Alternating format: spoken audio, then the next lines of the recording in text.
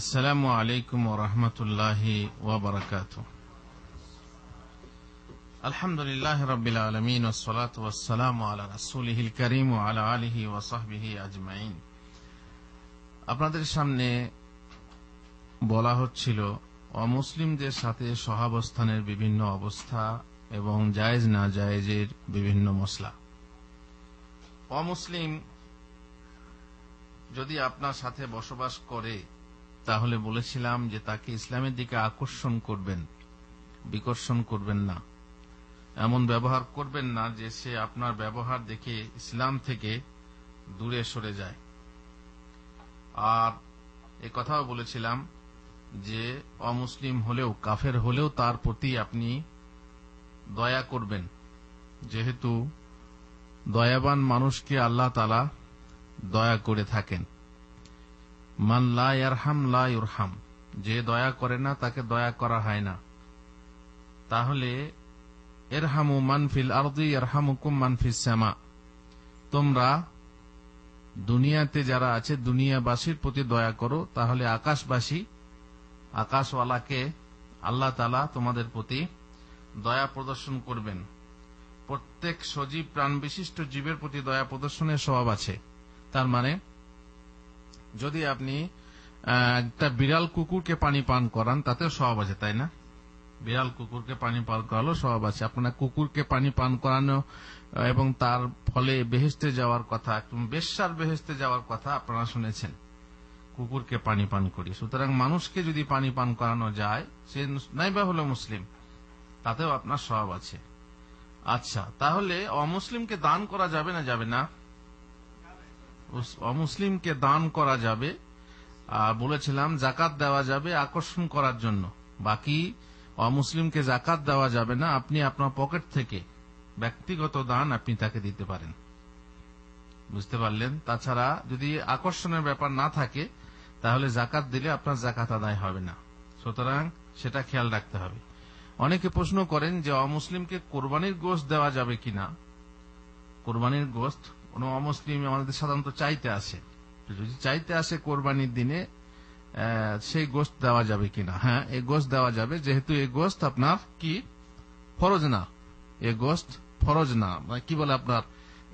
এ সৎকা করা আপনার কি বলে? এই জিনিসটা আর কি, ফরজ না। কোরবানিটা ফরজ না। কোরবানির গোস্ত যদি অমুসলিমকে দেওয়া যায়, তাহলে খাওয়ানো যাবে, সমস্যা নেই। বেশ এবারে বলি কাফের হলেও তার প্রতি জুলুম করা যাবে না। যদি কাফের মনে করে তাকে আপনি জুলুম করেন, আপনি আপনার দেশের সংখ্যাগুরু আছেন বলে কাফেরদের প্রতি জুলুম করবেন, তা চলবে না। তাকে কোনো প্রকার কষ্ট দেওয়া যাবে না। আপনি আপনার আচরণ ও ব্যবহারে তাকে কোনো প্রকার কষ্ট দেবেন না। কেন? নবী সাল্লাহ সাল্লাম বলছেন, আলা মানজালামা মুআহাদান।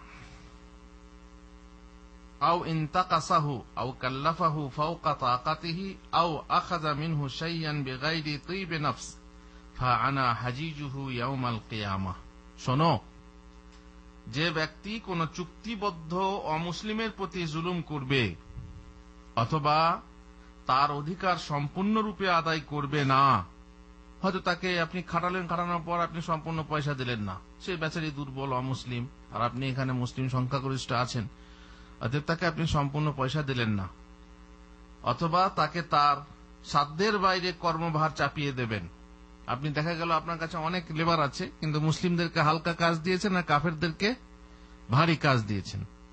এরকম যদি করেন, অথবা তার সম্মতি বিনা তার নিকট থেকে কিছু গ্রহণ করবেন, তার কাছ থেকে জোর করে কিছু গ্রহণ করবেন, তাহলে রাসুল্লাহাম বলছেন, আমি কেয়ামতের দিন সেই ব্যক্তির প্রতিবাদী হব। প্রতিবাদী মানে? রাসুল্লাহ সাল্লাম বাদী হবেন। তাহলে রাসুল্লাহ যদি বাদী হন, তো মামলায় জিতার আশা আছে? পারবেন? প্রশ্নই ওঠে না। এই জন্য খেয়াল রাখতে হবে যে এত বড় যে অমুসলিমের সঙ্গে আপনি মানে অসৌজন্যমূলক ব্যবহার করবেন, এটা আপনার জন্য মোটেই জায়জ না। তারপরে থাকল আপনার হত্যা করা। অমুসলিম কিছু দোষ করল, আপনি হত্যা করলেন। হয়তো এমন কিছু করল যে দোষ। আপনি জানেন যে যদি কোনো নাস্তিক, যদি কোনো কাফের, যদি কোনো অমুসলিম ইসলামের বিরুদ্ধে কিছু লিখে আল্লাহকে গালি দেয়, যেমন ফেসবুকে দেখছেন, আল্লাহ আকবর, কত রকমের গালি। তাই না? তারপরে রাসূলকে গালি, কত রকমের গালি, ইসলামকে গালি, কত রকমের গালি। এর হুকুম কি? ইসলামে তাকে হত্যা করা হবে, কিন্তু হত্যা করবে কি আপনি? না, সরকার করবে। বলবেন যে মুসলিম সরকার নেই, তো নেই তো আপনার দায়িত্ব শেষ। আপনি আল্লাহর কাছে অভিযোগ করুন। আপনি যদি পারেন সরাসরি গিয়ে তাকে বলুন যে, কেন ভাই তুমি এরকম করছ? নসিহত করুন, উপদেশ দেন।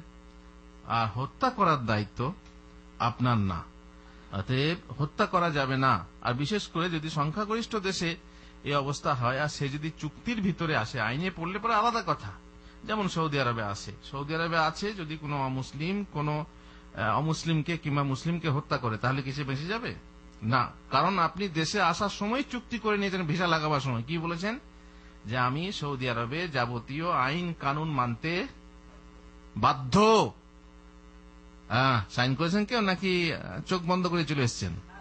হ্যাঁ সাইন, ভিসা লাগানোর আগে সাইন করতে হয় যে আমি যে দেশে যাচ্ছি, সেই দেশের সমস্ত আইন কানুন মানতে বাধ্য। এই জন্য অমুসলিমকেও এখানে ছাড়া হবে না। বুঝতে পারছেন? তো সেই রকম যদি অবস্থা হয় তাহলে সেটা সরকার করবে। এবার সরকার, মনে করুন সৌদি আরবে আপনি দেখলেন এক অমুসলিম আল্লাহকে আল্লাহকে গালি দিল বিশ্রী ভাষায়। আপনি সরকারের তোয়াক্কা না করে গিয়ে আপনি তাকে নিজে হত্যা করলেন। আপনার গায়রাত ছিল, আপনার গায়রাত হওয়া উচিত। মানে আপনার রাগ হওয়া উচিত যে আল্লাহকে গালি দিচ্ছিস শৈতান তুই কাফের? দিয়ে আপনি মেরে দিলেন তাকে। অথচ সৌদি আরব এখানে এখানে আপনি আপনার উচিত ছিল কি? সঙ্গে সঙ্গে সরকারকে জানান, সরকার ব্যবস্থা নেবে। এখন যদি বলেন সরকার যদি ব্যবস্থা না হয়, না নেয়, তো না নেয় তো আপনার দায়িত্ব শেষ।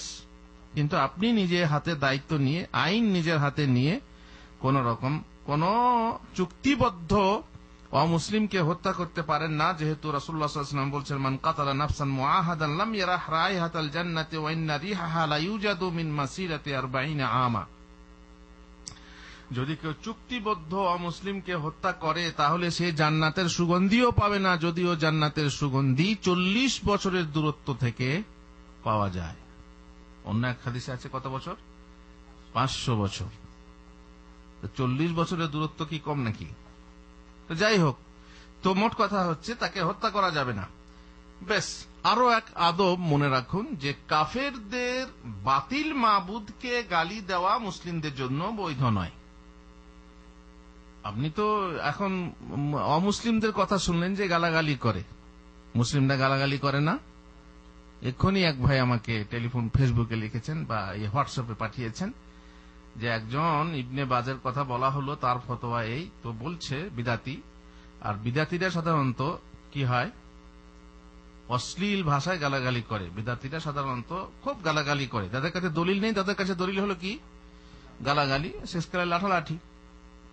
তো ইবনে বাজকে বলছে কি? কানা দাজ্জাল। চিন্তা করতে পারেন? একজন বলছে ইবনে বাজ নয় ফিতনাবাজ দেখেন চিন্তা করে। জাকির নায়ককে কি না কি বলছে? জাকির নায়ক নয়, ওটা জাকির নায়ক। তারপরে কি বলছে? জাকির নায়ক নয়, কাফের নায়ক। তারপরে আরও ইহুদিদের দালাল তো সবাইকে বলছে। ইহুদিদের দালাল তো আমাদেরকেও বলছে। আমাদেরকে বলছে শয়তানের বক্সের আলেম। মানে টিভিতে আসে, তার জন্য শয়তানের বক্সের আলেম। তারা তো আসতে পারছে না, হিংসায় আর কি বলবে জ্বালাতে? মানে হিংসা জ্বালাতে তারা আর কি বলবে? এসি রুমে বসে ফতোয়া দেয়, দরবারি আলেম, জেহাদিরা আবার বলছে দরবারি আলেম। তার মানে সরকারের বিরুদ্ধে আমরা কিছু বলি না। সরকারের বিরুদ্ধে জেহাদ ঘোষণা করতে হবে, জেহাদ করতে হবে, জেল খাটতে হবে। তবে আপনার ধর্ম প্রচার ইসলাম প্রচার হবে। একজন আজকে পোস্ট দিয়েছে যে এরা হচ্ছে হাফ হাফ ইসলামকে মানে। এরা দাওয়াত মানে জিহাদ মানে না। আমরা কি জিহাদকে অস্বীকার করেছি? নাকি বলেছি যে জিহাদের প্লেস নয় এটা? জেহাদের জায়গা নয়, জেহাদের শর্ত না থাকলে পরে জেহাদ করো না। সন্ত্রাস জেহাদ নয়। তাই বলছে যে এরা হাফ ইসলাম মানে। তাহলে আপনি এর অভিযোগ কোথায় জানাবেন? একমাত্র আল্লাহর কাছে জানানো ছাড়া উপায় নেই। অবশ্য এদেশে হলে পরে তো খবর ছিল। কিন্তু ঘরে বসে ফেসবুকে দাদার মাকেও গালি দেওয়া হয়। কিন্তু সব দেশে হয় না। এদেশে হলে পরে ওই লোককে দেওয়া হতো। এই জন্য আমাদেরকে বলছে দরবারি আলেম। তার মানে সরকারের পাঁচ আটা গোলাম। কিন্তু আল্লাহর রহমতে সরকারও এমন নয় যে কাউকে পাঁচ আটা গোলাম বানিয়ে রাখবে। আর এমনও নয় যে ওদের মতো লোকদেরকে জিপ চালাতে কাঁচির মতো জিপ চালিয়ে যাবে, ছেড়ে দেবে তাদেরকে, তাও না। আল্লাহর রহমতে শাসন আছে। অতএব আল্লাহর কাছেই অভিযোগ, যেহেতু সে আমাদের ছোঁয়ার বাইরে, ধরার বাইরে। বেশ বাতিল মাবুদদের গালি দেবেন না। বাতিল মাবুদদেরকে গালি দিলে পরে কি হবে? আপনি তাকে গালি দেবেন, সে ছেড়ে দেবে? বলুন। একজন বলছে, আলবানি কি জানে? আলবানি তো ঘড়ির বেকার। সে হাদিসের কি করে জানলো? আলবানি সম্পর্কে না জেনে প্রশ্ন করছে। তো ঘড়ির মেকার হলে কি হাদিস সম্পর্কে জানা যায় না?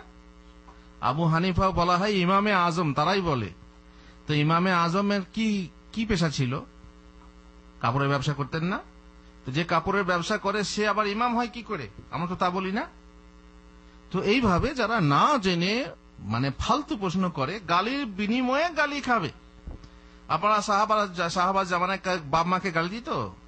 গালি দিত না। যখন বলা হলো যে তোমরা বাপ মাকে গালি দিও না, তখন বলা হলো কি যে কেউ কি আর বাপ মাকে গালি দেয়? তো বললেন যে না, গালি তো দেয় না, কিন্তু সে অপরের বাপ মাকে গালি দেয় ফলে তারা হ্যাঁ এর মা বাপকে গালি দেয়, ফলে নিজের মা বাপকে গালি দেওয়া হয়। তুমি, আপনি যদি বলেন শুয়োরের বাচ্চা, তখন সেও বলবে শুয়োরের বাচ্চা তার কাকে? তুমি তার বাপকে শুয়োর বানালে, সেও তোমার বাপকে শুয়োর বানাবে। তো এইভাবে হয়।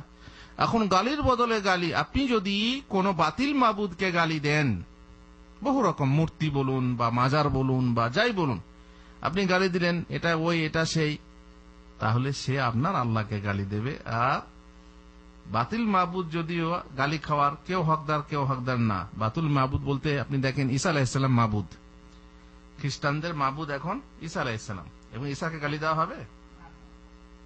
অসম্ভব।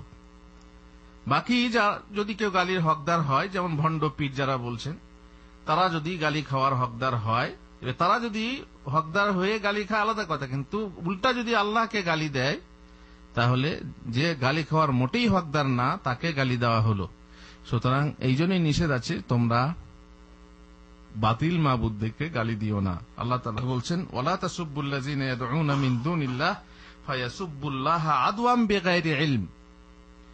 তোমরা আল্লাহকে ছেড়ে যাদের উপাসনা আহ্বান করে তাদেরকে গালি দিও না। কেন? কেননা তারা অন্যায়ভাবে অজ্ঞানবশত আল্লাহকে গালি দিয়ে বসবে। সুতরাং সাবধান। নবী করিম সাল্লাম বলেন, কাফেরকে গালি দিয়ে মুসলিমকে কষ্ট দিও না। কাফেরকে গালি দিয়ে মুসলিমকে কষ্ট দিও না মানে? মনে করুন, জাহিলি যুগে তখন রসুল্লাহ সাল্লামে ইসলাম আসার পরে যারা জাহিলি যুগে মারা গেছে, তারা তো জাহান নামে যাবে। ঠিক কি না? এবার তাদেরকে যদি গালাগালি করেন, তো তার ছেলেরা হচ্ছে মুসলমান। তো মুসলমানদের মনে কষ্ট হবে না? হবে না। মনে কষ্ট হবে। এই জন্য কাফেরদেরকে গালি দিয়ে মুসলমানদেরকে কষ্ট দিও না। যাই হোক, কাফেরদেরকে মোট কথা গালাগালি করবেন না। আমরা বলি, বাতিলকে গালাগালি করবেন না। কারণ, বাতিলকে গালাগালি না করে কি করুন? মানে আলো জ্বালিয়ে যান। অন্ধকারকে গালি না দিয়ে আপনি আলো জ্বালিয়ে যান। তো এই হলো আপনার কথা। কোন অমুসলিমকে খামাখা গালাগালি ও বদোয়া করবেন না। যেহেতু আবু হরাহ বলেন, বলা হলো, হে আল্লাহর রসুল মসজিদদের উপরে আপনি বদোয়া করুন। তিনি বললেন, আমি অভিশাপকারী রূপে প্রেরিত হইনি, বরং আমি কেবল করুণা রূপে প্রেরিত হয়েছি। আমি কি রূপে প্রেরিত হয়েছি? করুণা রূপে। সুতরাং তিনি হচ্ছেন সারা পৃথিবীর জন্য করুণা।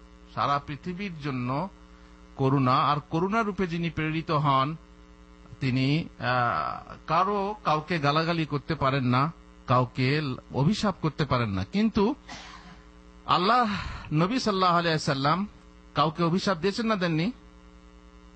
হ্যাঁ। আল্লাহ নবী সাল্লাহ সাল্লাম কাউকে অভিশাপ দিয়েছেন না দেননি? দিয়েছেন। তাহলে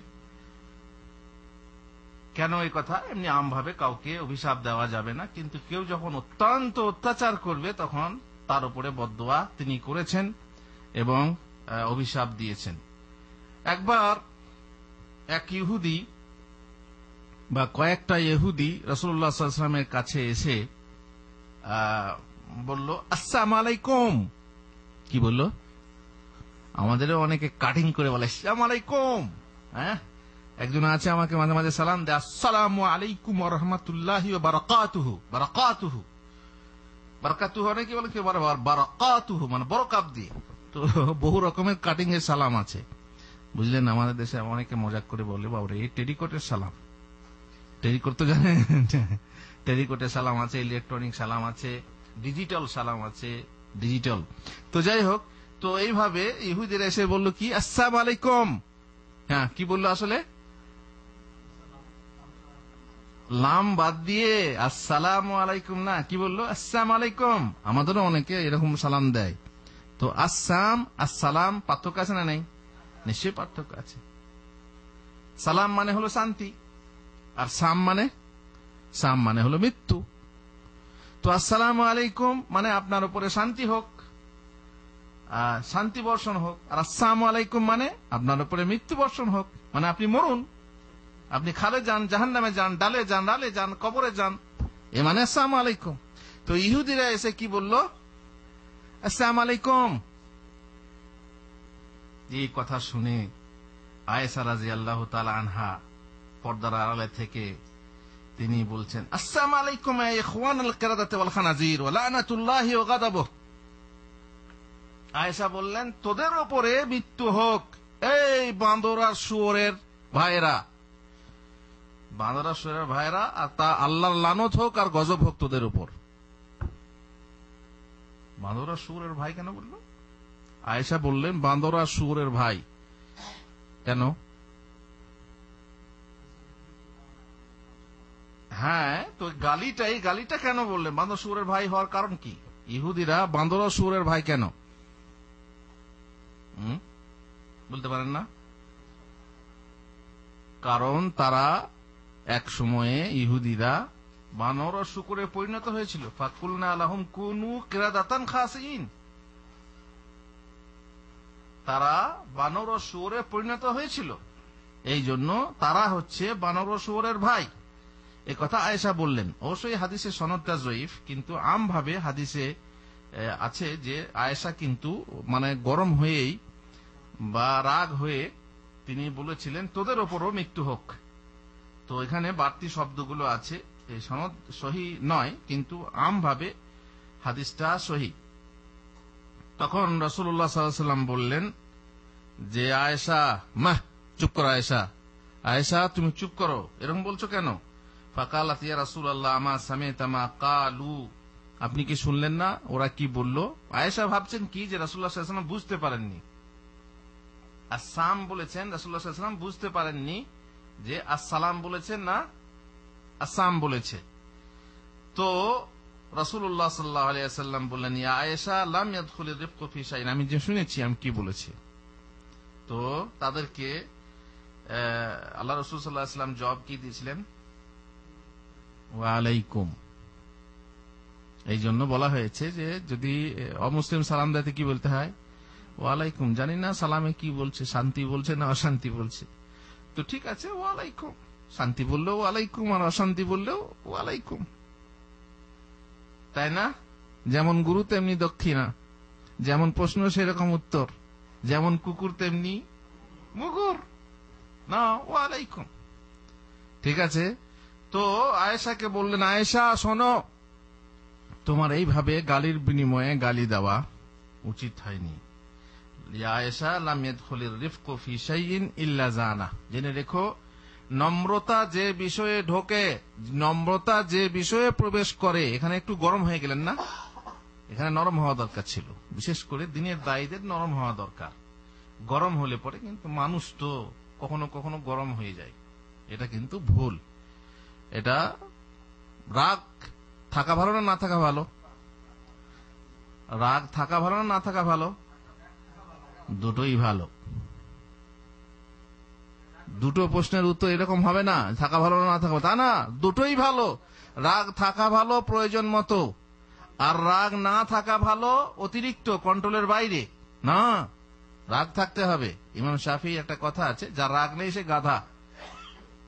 বলুন যার রাগ নেই সে কি কোনো কিছু প্রতিবাদ করতে পারবে, অন্যায়ের প্রতিবাদ করতে পারবে? তার বউ যদি কারোর সঙ্গে নষ্টি ফষ্টি করে, কিছু বলবে? "হ্যাঁ, ঠিক আছে। মাটির মানুষ গো মাটির মানুষ কিছু মনে করে না। কিছু মনে করবে না তো রাগ নেই তো। তাই না? যার রাগ নেই সে হচ্ছে গাধা। এই জন্য যার রাগ নেই সে হচ্ছে দায়ুস রাগ থাকা ভালো কিন্তু। বেশি ভালো না। আপনি আমি মাঝে মাঝে আপনাদেরকে বলি স্বররিপুর কথা। স্বররিপু জানেন আপনারা? স্বর মানে কি? ছয়। রিপু মানে কি? শত্রু। ছয় শত্রুর কথা জানেন আপনার ভিতরে ছটা শত্রু আছে। হ্যাঁ। কি কি? কি কি বলেন আপনারা? কাম ক্রোধ। বলেন বলেন, দেখি, কে কি বলতে পারছেন, দেখি। ছটা ঋতুর কথা কি বলে রিপুর কথা রিপু মানে কি? শত্রু। সেই শত্রুর কথা আপনাদের কি জানা আছে? স্বরূপী মানে কি? কাম। কাম মানে কি?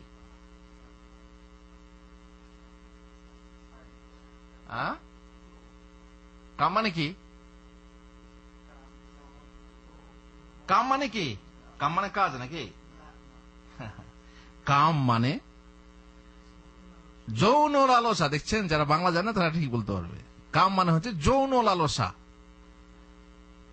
এই যে আমরা বলি, মহিলাদের কি পরপুরুষের দিকে তাকানো উচিত? জায়েজ? না, কাম দৃষ্টিতে তাকানো যাবে না। কাম দৃষ্টি মানে যৌন লালসা ও যদি আমার স্বামী হতো ওকে যদি এই যে, এই একটা যৌন অনুভূতি মানে লোভ তাকে দেখে।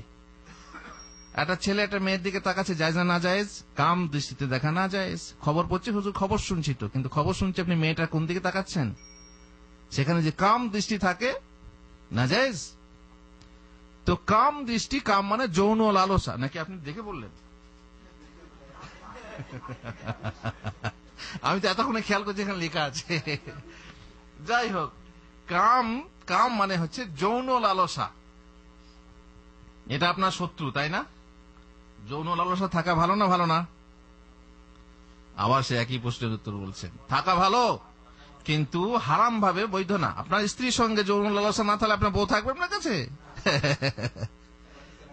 এই জন্য এই ছয় রিপু থাকা ভালো, কিন্তু অবৈধভাবে থাকা ভালো না। দুই নম্বর হচ্ছে ক্রোধ।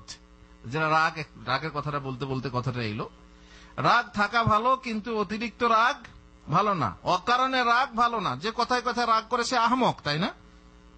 কথায় কথায় রাগ করবে সে হচ্ছে আহমক, তাকে আহমক বলা হয়। আর প্রয়োজনে রাগ থাকতে হবে না, হয়, যা প্রয়োজনেও রাগ থাকে না, সে হচ্ছে গাধা, সে কি করে মানুষ হয়? এই জন্য এটাও ঠিক লিমিটেড থাকা দরকার, নিয়ন্ত্রণে নিয়ন্ত্রিত থাকতে হবে। নম্বর তিন হচ্ছে লোভ।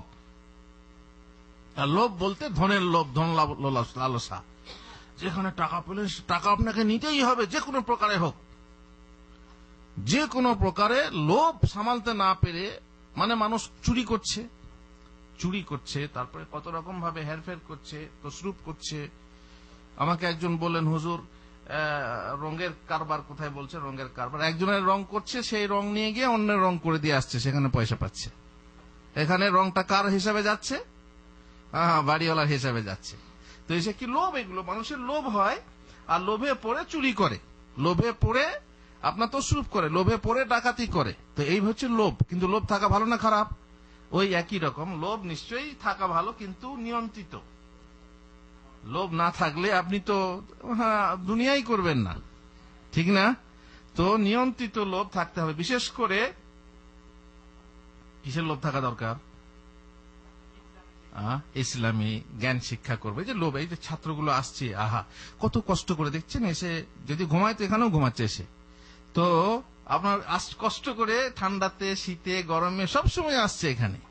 তো লোভ হচ্ছে যে আমিও যাব, আমিও শিখব আরে দেখছি যে যা প্রশ্ন করছে, অমুক বলতে পারছে, আমি কেন বলতে পারছি না? তাহলে আমিও করব। ঠিক না? জান্নাতের লোভ।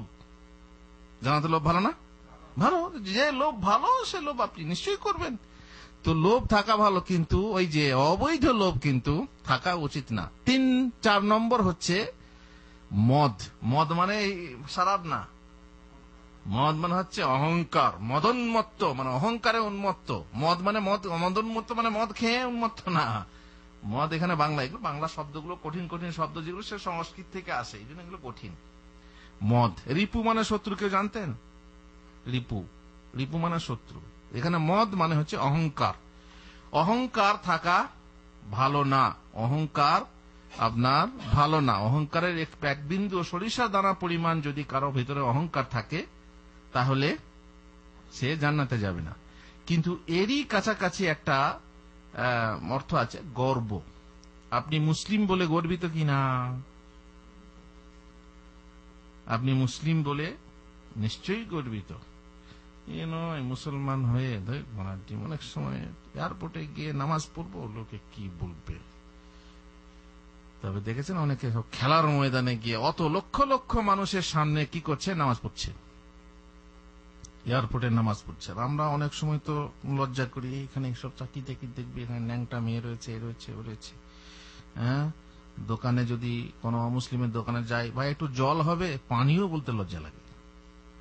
যদি চিনতে পারে যে মুসলমান, মুচমান বা নেড়ে নিজেকে তুচ্ছ মনে করা হয়, না, তুমি নিজেকে তুচ্ছ করছ কেন?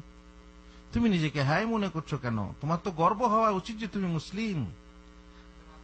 কিন্তু সমস্যা হচ্ছে যে সে নিজের স্বকীয়তা জানে না। নিজের সত্তাকে সে চেনে না। এই জন্য সত্তাকে সে হারিয়ে ফেলেছে, বিকিয়ে ফেলেছে। কীভাবে? একটা বাঘের ছানা বাঘের ছানা ছোটবেলা থেকে ছাগ পালে মানুষ হচ্ছিল। দিয়ে মানুষ হতে হতে সেই ছাগলের মতো ম্যা ম্যা, চলছে। তারপরে একদিন পানি খেতে গিয়ে দেখছে পানির ভিতরে আমার চেহারা আর চেহারা তো এক না তখন এক বাঘের সাথে দেখা হলো, বাঘ তাকে বলল, তুমি কিন্তু ওদের নও, তোমার দেখবে করে গর্জন ছেড়ে গর্জন ছেড়ে বলছে, তুমি হচ্ছে বাঘ, তোমার বিশাল শক্তি আছে, ওগুলো তো আমাদের খাবার, দেখবে? তারপর থেকে সে নিজের স্বকীয়তা যখন চিনতে পারল, বুঝতে পারছেন তো, অনেক সময়ে পরিবেশের কারণে বাঘের বাচ্চা ছাগের বাচ্চা হয়ে থাকে। না মানুষের মনে গর্ব হওয়া উচিত, এই গর্ব যে আমি মুসলিম। অহংকার না। সুতরাং এর এই একটা দিক হচ্ছে ভালো। তারপরে চলুন মোহ, মায়া, মমতা। মোহ, ধনের মোহ। আপনি ছাড়তে চাইছেন না, দান করতে চাচ্ছেন না, কার্পণ্য করছেন। এমন মোহ, এমন মায়া যে একটা অবৈধ মেয়েকে আপনি ভালোবাসছেন। আপনার ঘরে ভাবি আছে, খুব ভালো। বেচারি, এত সুন্দর চরিত্র, এত সুন্দর ব্যবহার, এত সুন্দর তার কথাবার্তা, নিশ্চয়ই ভালো লাগবে। তা বলে আপনি তাকে বউ বলে পেতে চাইবেন? নিশ্চয়ই এটা বিশাল। আপনার পাড়াতে একটা মেয়ে আছে, আপনার স্কুলে একটা কলেজে আপনার মেয়ে আছে, আপনার সহপাঠী নিয়ে আছে, তাকে হ্যাঁ ভালোই লাগল। তার প্রতি মায়া হওয়া উচিত। এমনিতেই প্রকৃতিগতভাবে ভালোবাসা আসে, তাই না? ভালোবাসা করতে হয় না, ভালোবাসা হয়ে যায়। করতে হয় না, হয়ে যায়। কিন্তু এটা হয়ে যায় যেতে পারে, কিন্তু সেটাকে অপবিত্র হতে দেওয়া, এটাই হচ্ছে বাড়াবাড়ি। পবিত্র ভালোবাসা হয়েছে, তাকে আপনি কি করেন আপনি কি করেন, তাকে বৈধভাবে তাকে বিয়ে করার চেষ্টা করেন। আর শেষ ছ নম্বর হচ্ছে মাৎসর্য। মাৎসর্য মানে হচ্ছে লেখা আছে কি? হিংসা। পরশ্রী কাতরতা। পরের সিঁড়ি দেখে কাতর হয় যে গাড়ি কিনলো। গাড়িটা অ্যাক্সিডেন্ট হয়ে যাক, আমি গাড়ি কিনবো। এই যে, পরেরটা নষ্ট হোক, আমারটা বেঁচে থাক। আমার কেন হয় না? ওর হলো আমারটা কেন হবে না? মানে ও ও সুন্দরী বউ পেল। মরে যাক, তারপর আমি বিয়ে করব। এ হচ্ছে মাৎসর্য পরশ্রী কাতরতা হিংসা। ওর এতগুলো ধন হলো, ওর বিল্ডিং হলো, বিল্ডিংটা ধ্বংস হয়ে যাক, ভূমিকম্প হোক ভেঙে যাক। অনেক সময় হিংসুক নিজের ক্ষতিও করে থাকে, অপরের ধ্বংস কামনা করে। বুঝতে পারছেন? তো এই ছটা রিপু মানুষের ভিতরে আছে যা কঠিন। আমরা কি বলতে বলতে চলে গেলাম যে মানুষের মা- মাধ্যই, মা- মানুষের মাঝেই কি আছে? রাগ আছে। তো আয়েশাকে বললেন, আয়েশা, তুমি গরম হইও না। নম্রতা যেখানে থাকবে, সেই জিনিসকে, সেই নম্রতা, সেই জিনিসকে সৌন্দর্য মণ্ডিত সুন্দর করে তুলবে।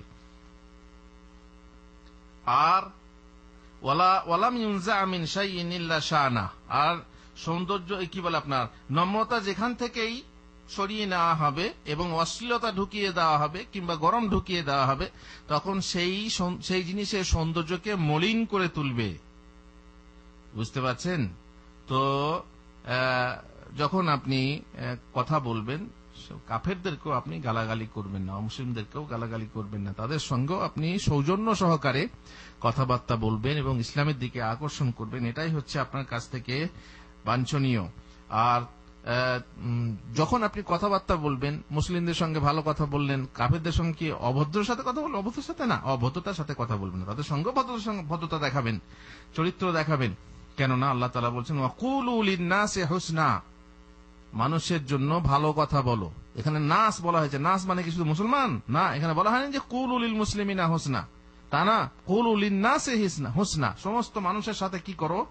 ভালো কথা বলো। অতএব তারাও হচ্ছে মানুষদের মানুষ, অতএব তাদের সঙ্গেও আপনাকে ভালো কথা বলতে হবে। এই হচ্ছে আজকের কথা। এখনও অনেক কথা আছে, ইনশাআল্লাহ পরে বলব। আল্লাহ তালা আমাদেরকে মানার তৌফিক দেন। ওয়াসাল্লাহ নবীন মোহাম্মদ ওয়ালা আলহি ওয়াসাহবিহি আজমাইন।